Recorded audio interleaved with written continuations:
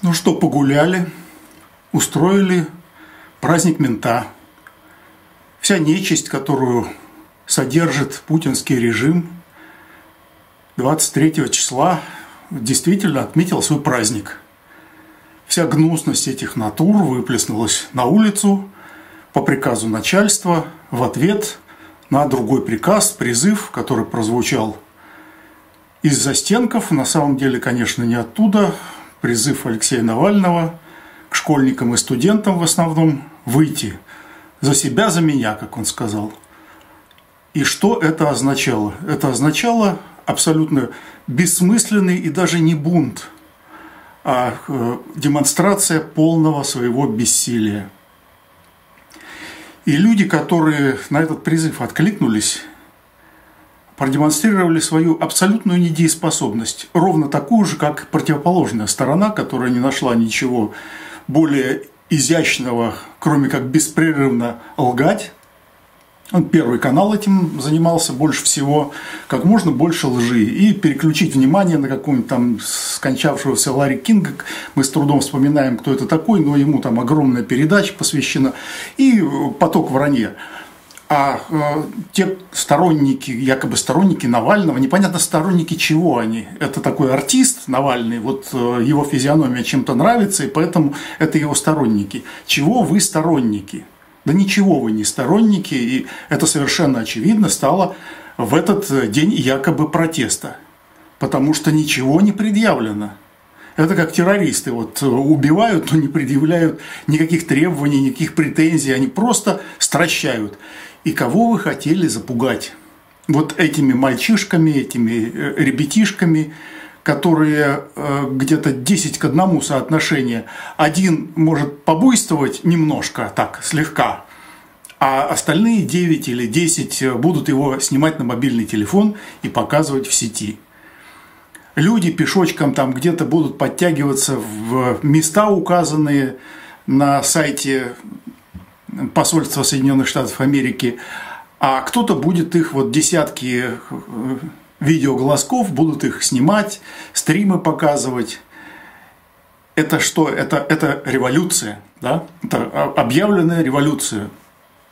Или бунт бессмысленный и беспощадный. Ни то и ни другое. Это демонстрация полной своей беспомощности. Отсутствие организации, отсутствие идеологии, отсутствие единства, отсутствие вообще всего – кроме глупости, которая реагирует вот на это. Сейчас мы Путина сметем. Сейчас выйдем. Ох, как мы, какие мы страшные. Вы абсолютно никому не страшны. Абсолютно никому не страшны. И было ясно, что кроме позора не будет ничего. Это ваш протест. Протест состоит в том, чтобы получить по хребту дубинкой, э, получить оскорбление действием со стороны так называемых правоискривителей, там никогда никакой защиты права не было. Эти дураки, а противостоят им подонки. Вот все содержание этого мероприятия. И это уже не первый случай. Вы помните 2011 год, когда количество людей, вышедших на улицу, было э, кратно больше. Раз 10, может быть, 100. И тоже отсутствие какого-либо понимания, что делать, потому что вожди Именно поэтому ставятся люди, которые ничего, никаких требований, кроме э, самых глупых и бессмысленных, э, типа там свободные выборы, чего-то там еще освободить политзаключенных, ну, то, что лежит на поверхности, ну, то, что может предъявить любая позиция любой власти или любым проходимцам, которые забрались во власть. То есть то, что не, не объединяет, а то, что очевидно – то есть вы ни о чем не договорились между собой. Вы не знаете образа будущего, который вы чаете для страны. Вот абсолютно. Коррупцию подавить и устроить свободный выбор. Это не создает никакого образа будущего. Это э, демонстрирует глупость, отсутствие способности сформулировать свои требования к жизни, чего вы от этой жизни хотите. И э, недееспособность в смысле организационной. Вы ничего не сделали, вы не смогли, вы не создали даже концепции, зачем вы выходили, как вы выходили, с чем вы выходили. У вас нет плакатов, у вас нет флагов, нет символики, ничего того, что вообще людей объединяет. Лозунгов даже общих нет, ничего нет вообще. То есть, если в 2011 еще что-то там было, потому что там была свежа рана фальсифицированные выборы, э, там президентские выборы предстоят, э, и борьба вроде бы вокруг них разворачивалась. Здесь не было ничего вообще. То есть чистая провокация, на которую дураки среагировали тем, что они выползли на улицы абсолютно без всякой подготовки. И автоматическая реакция негодяев. Вот путинское негодяйство было удовлетворено, проявлено в очередной раз, а то мы не знаем, кто такие полицаи, э, действующие в защиту Путина.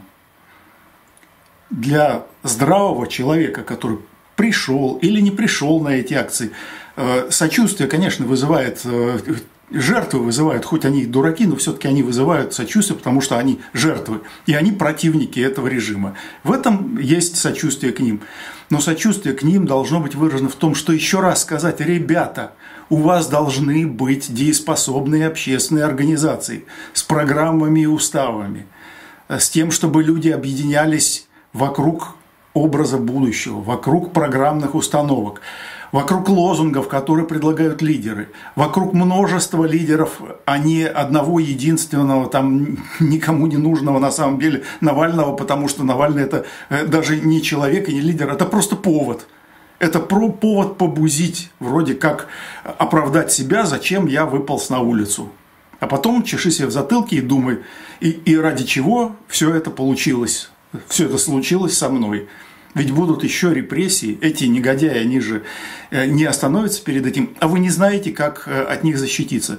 У вас нет юридической защиты, никакого опыта нет никакого. За вас никто не вступится в соцсетях, потому что у вас нет друзей, никакой Навальный, никакие правозащитные структуры, никто за вас не поднимется. Вы вышли вроде как группой, но на самом деле толпой, атомизированной, ничем не объединенной. Поэтому у вас там друзей не было, вы все одиночки. Вы все дети вот этого цифрового мира, цифровые рабы. Вы поэтому никогда не объединитесь, если не просветлите свои мозги, что есть идеи, есть мировоззрение, которое заложено в истории нашей страны.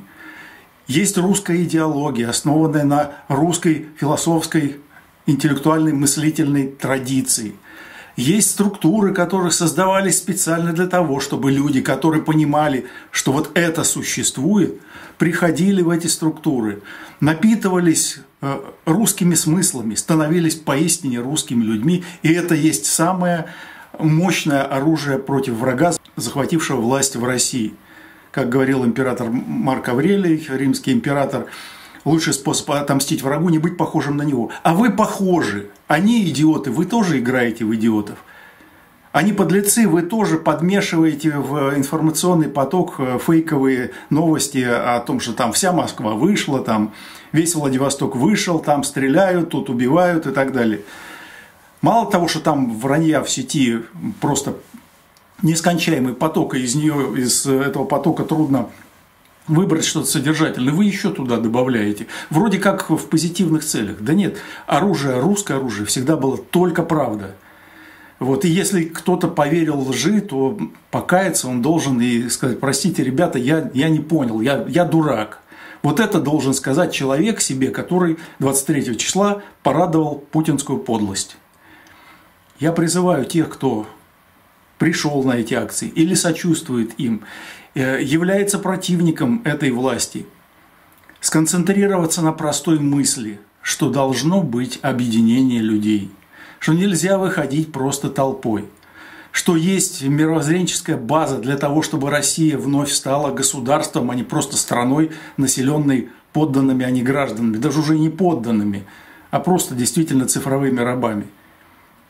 Без того, чтобы освоить мировоззрение, без того, чтобы его иметь хотя бы – невозможно никакие изменения.